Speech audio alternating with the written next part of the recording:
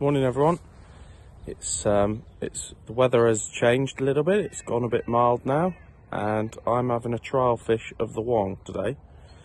So I've been feeding it for the last two or three days, and they've been they've been pretty active on here, to be honest. So I'm fairly hopeful that um, that we'll be able to catch something and um, and see what their progress is doing. So hopefully, the next time you see me, I will be holding up a carp.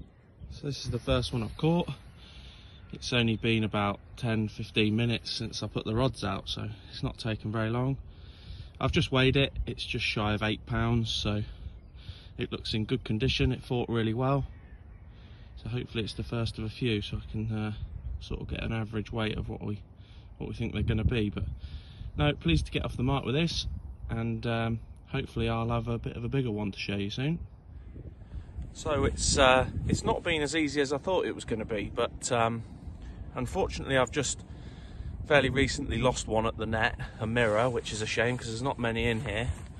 Um, and it looked quite a good fish actually. It, it was a low double, but um, I've just had the, this little ghosty, real fat thing, um, and he's weighing he's weighing in at just under, really lively. Um, he's weighing in at, at two ounces under ten pounds, so that's really good. He's definitely been eating, he has. So um, I haven't actually seen any of the ghost carp since I put them in here, which is strange, you know, because normally you see them cruising around on the surface. But um, no, nice to catch him and uh, and see what what he compares to, like like the fish in the res. So the, the the ghosties that I put in here are much much smaller than the ones I put in the res. So it's good to see they're all putting weight on.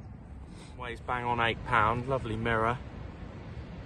Um, they're all in really good condition. They're fighting really hard.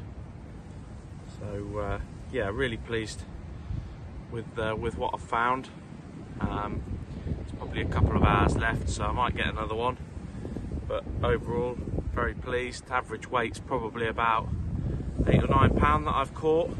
So um, that's promising. In a couple of years' time, they'll be they'll be plenty big enough to go into the res. So, and I'm sure there are some bigger in here and I'll uh, I'll catch them at another time when I uh, when I trial fish it again when it warms up a little bit more. So it's a different day today. Um, it's three days on from when I last fished it and it's much warmer. This one's not behaving itself. Um, this one's 11 pounds, well 11 and a half pounds actually. So it just shows there are a few better fish in here. The average size I caught last time was eight pounds. I did catch a couple of tens but uh, yeah shows that the the future's looking good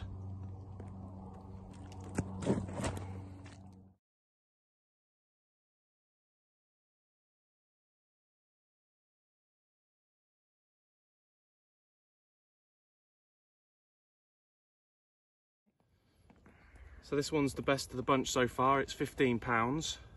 Um, it's quite a recognisable common actually. It's got some strange sort of markings on the top of it. I did say this was going to be the size that I put them into the res, but um, they're doing so well in here. They can stay in here until, until next winter, and then potentially stuff like this will be nearer the 20 pound mark. So really pleased with this. It just shows that there's a, a good mixture of sizes. So each year we, we'll be able to keep topping up on, on stock and they won't all be ready at one time.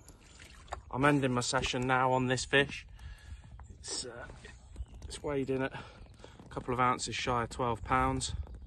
Beautiful fish. All the fish have been in great condition. I'm really, really pleased with, with the condition they're in. Um, I think that's it for this uh, for this month's video. There's nothing to report on the res. The fish haven't woken up yet. So uh, hopefully next month there'll be a bit more, more to report on that. But uh, overall, really pleased with how this has gone.